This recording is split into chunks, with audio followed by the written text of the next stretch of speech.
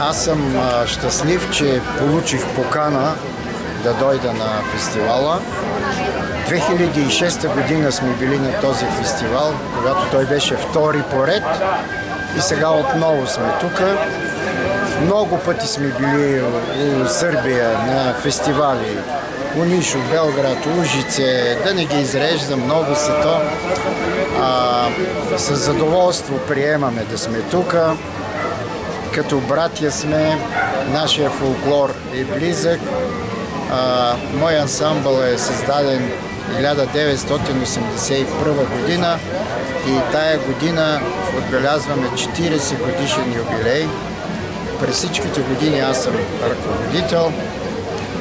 Танцуваме танци от всички фолклорни области в България. Те са пет основни. Шопско, Доброжанско, Северняшко, Тракийско и така нататък.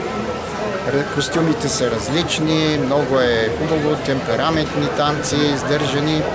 Е, тази корона малко ни пречи, затова защото не можахме да дойдем целият ансамбъл на фестивала, а сме тук с една трета от участниците, тъй като родителите не пуснаха своите деца а, от страх да не е да стане нещо. Фестивал Опирот е, он е бил 4-5 дана, сада 2 и добър е с а, Борко, директор, се знаеме от 84-та година. И големи приятели сме. А, все е добило.